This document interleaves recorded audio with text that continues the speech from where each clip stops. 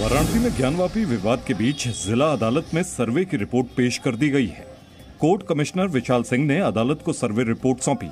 Report 10 से 15 पन्नों की है। इसमें वीडियो तस्वीरें और कई तरह के कागजात भी शामिल हैं।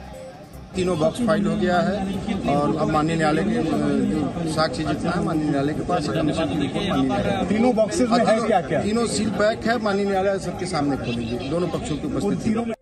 वहीं दूसरी ओर सुप्रीम कोर्ट में भी सुनवाई हुई। सुनवाई के दौरान सुप्रीम कोर्ट ने निचली अदालत के आदेश देने पर कल तक रोक लगा दी। कल दोपहर तीन बजे सुप्रीम कोर्ट में फिर से इस मामले पर सुनवाई होगी। जब सुप्रीम कोर्ट उसमें अपना फाइनल जजमेंट सुना देगा उसके बाद ट्रायल कोर्ट जैसे सुप्रीम कोर्ट दिशा निर्देश देगा उसके बाद ट्रायल कोर्ट आगे प्रोसीड करेगा। अभी तक मेरी नॉलेज में किसी का जवाब नहीं आया है। जैसे ही किसी पक्ष का जवाब आएगा तो डेफिनेटली आपको बताएँगे। सुप्रीम कोर्ट के निर्देश के बाद जिला अदालत ने भी ज्ञानवापी केस में सुनवाई की तारीख आगे बढ़ा दी है। अब 23 मई को वाराणसी की अदालत में इस पर सुनवाई हो सकती है। ज्ञानवापी में तीन दिन तक हुए सर्वे की रिपोर्ट मीडिया में भी लीक हो गई। रिपोर्ट में दावा किया गया है कि दीवार पर पान के पत्ते के आकार के छह फूल की आकृति मिली है। करीब आठ आठ फीट के चार पुराने खंभों का ज़िक्र है। खंभों पर घंटी, कलश, फूल की आकृति की बात कही गई है। एक खंबे पर कुछ लाइनें लिखी हुई हैं, लेकिन वो पढ़ी नहीं जा सकती। दावा है कि तहखाने में दरवाजे के पास भगवान की फ़ोटो मिली है, जिस पर मिट्टी जमी थी। तहखाने की सभी दीवारें और पिलर पानी से भीगे हुए थे। रिपोर्ट के मुताबिक तहखाने में सौ नई ईंटें भी मिली हैं।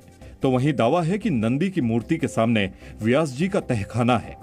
व्यास जी के कमरे में दूसरे खंबे पर त्रिशूल के निशान का दावा है। नंदी की मूर्ति से 18 फीट की दूरी पर तहखाने में एक खुला रास्ता मिला है जिस पर कोई दरवाज़ा नहीं था। इसकी ऊपरी चौखट पर घंटी लगी हुई है। दीवार पर तीन कमल के फूल भी मिले हैं जिसके ऊपर स्वास्तिक के निशान होने की बात कही जा रही है। हम लोगों ने जो रिपोर्ट दिया है वो टोटल बारह पन्ने में है। इन सब का क्लिप बना करके ये सब वीडियो फुटेज का और फोटोग्राफी सभी एक पेन ड्राइव में है। इससे पहले पूर्व कोर्ट कमिश्नर अजय मिश्रा की एक रिपोर्ट भी लीक हुई थी। और उस रिपोर्ट में भी कुछ इसी तरह के दावे थे। समाजवादी पार्टी के अध्यक्ष अखिलेश यादव ने ज्ञानवापी मुद्दे पर चुप्पी तोड़ी तो नया विवाद शुरू हो गया। ज्ञानवापी के मुद्दे पर अखिलेश यादव ने जो कुछ कहा उसे हिंदू आस्थावानों ने अपमान करार दिया है। और हमारे धर्म में तो ये है हिंदू धर्म में कहीं भी पत्थर रख दो एक लाल झंडा रख दो पीपल के पेड़ के नीचे मंदिर बन गया यही नहीं, अखिलेश ने ज्ञानवापी मुद्दे का नाम लिए बिना ही उसे अयोध्या विवाद से जोड़ दिया और बीजेपी पर डराने की राजनीति करने का आरोप लगाया। एक समय ऐसा था कि रात के अंधेरे में मूर्तियाँ रख दी गई। बुलडोजर केवल दल, जाति और हमारे मुसलमान भाई को डराने के लिए बुलडोजर है। ये बड़े लोगों के लिए बुलडोजर नहीं है। अखिलेश के बयान पर सियासी घमासान छिड़ते देर नहीं लगी और कानपुर में बीजेपी युवा मोर्चा के कार्यकर्ता विरोध जताने सड़कों पर उतर पड़े।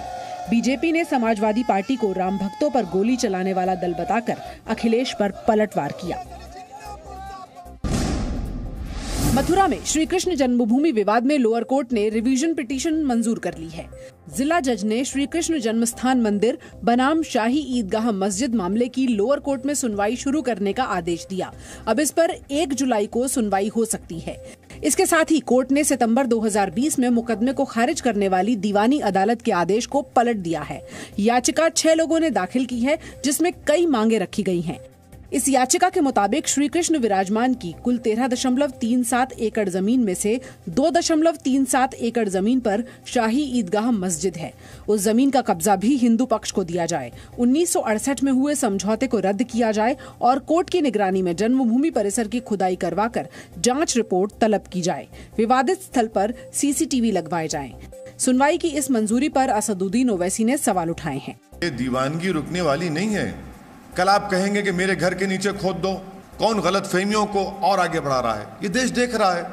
हिंदू पक्ष के मुताबिक मथुरा में भी औरंगज़ेब ने केशव राय मंदिर को गिराकर शाही मस्जिद बनवाई थी। और उसी मस्जिद के नीचे वो जगह है जहाँ श्री कृष्ण का जन्म हुआ था।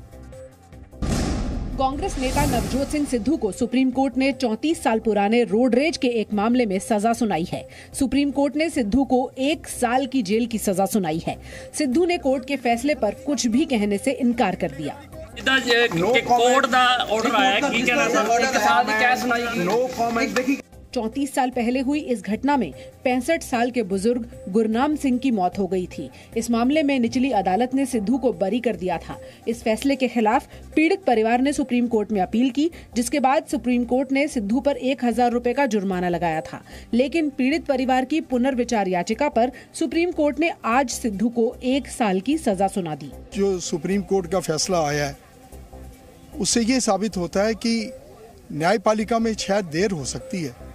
मगर अंधेर नहीं है। सिद्धू को सजा का आदेश आने के साथ ही कांग्रेस के अंदर उनको पार्टी से बाहर करने की मांग उठने लगी है। कांग्रेस का जो नुकसान नवजोत सिंह सिद्धू कर गया है वो कभी भरपाई कभी नहीं होगी।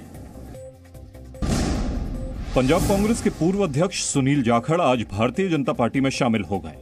बीजेपी के राष्ट्रीय अध्यक्ष जेपी नड्डा ने दिल्ली में पार्टी मुख्यालय में सुनील जाखड़ को भगवा अंगवस्त्र पहनाने के साथ उनको पार्टी की सदस्यता दिलवाई। बीजेपी में शामिल होने के बाद सुनील जाखड़ ने प्रधानमंत्री नरेंद्र मोदी और गृह मंत्री अमित शाह को धन्यवाद देते हुए कांग्रेस पर निशाना साधा। सुनील जाखड़ ने राजनीति को निजी स्वार्थ के लिए इस्तेमाल नहीं किया। सुनील जाखड़ ने कभी तोड़ने का काम नहीं किया। हमने सभी हमेशा कोशिश की है, शायद सफलता ना मिली हो, जोड़ने का काम किया है। वहीं बीजेपी अध्यक्ष जेपी नड्डा ने कहा कि जाखड़ के आने से पंजाब में बीजेपी मज़बूत होगी मुझे पूरा विश्वास है कि वह हम सबके साथ मिलकर के हम पंजाब को एक नए मुकाम पर ले जाएँगे और राष्ट्रवादी ताकतों को मज़बूत करने में उनका अनुभव का हम सदुपयोग करेंगे इस Presenting B News app available on Google Play and App Store. Download it now.